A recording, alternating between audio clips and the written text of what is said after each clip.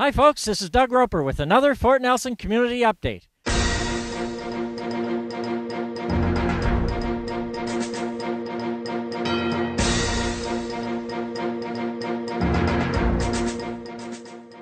We're here at the site of the community trail, and here to give us an update is Paddy Whidden.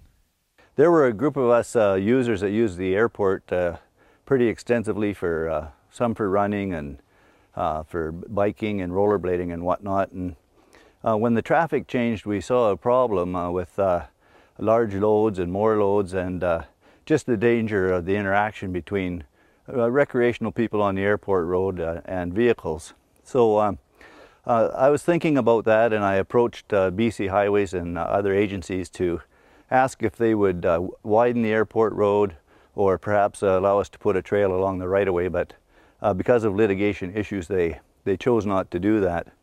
And I also noticed in the community that, uh, especially in springtime and the sun comes out, a lot of people uh, began to uh, come out of their caves, so to speak, and, and use the streets of town for their recreation. And I noticed, uh, you know, mums pushing uh, baby carriages in the gravel before the, the town had it cleaned up and, you know, struggling with that. And families biking and, and you know, uh, you can see the stress of a, a mom and a dad and three kids on a bike with, you know, telling them to stop and wait and looking around and waiting for the traffic to clear. So uh, I began a process and uh, put together a, uh, an article or a, a, pro a, proposal to the town uh, that would give us a trail around the community and uh, that everyone could use and, and get rid of the whole problem with the interaction of motorized vehicles.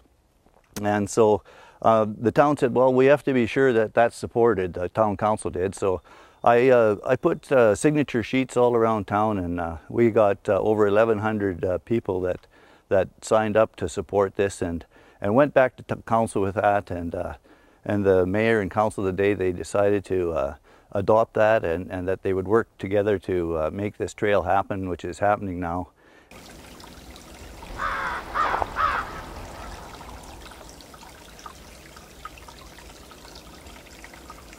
Yeah, Doug, the piece behind us here is a section of trail that starts at the airport road and it'll be hooking up with uh, by the reservoir where it comes out that leads to uh, Dan's Pub. And one of the interesting features on the trail is this little creek going through here where uh, there's going to be a nice wooden bridge uh, constructed and it's one of two crossings on the uh, trail that will have a uh, enhanced feature of a bridge and maybe we can have a couple benches of the rest area here, but it's it's a very, very beautiful here and looking forward to the completion and all this paved, it'll be wonderful.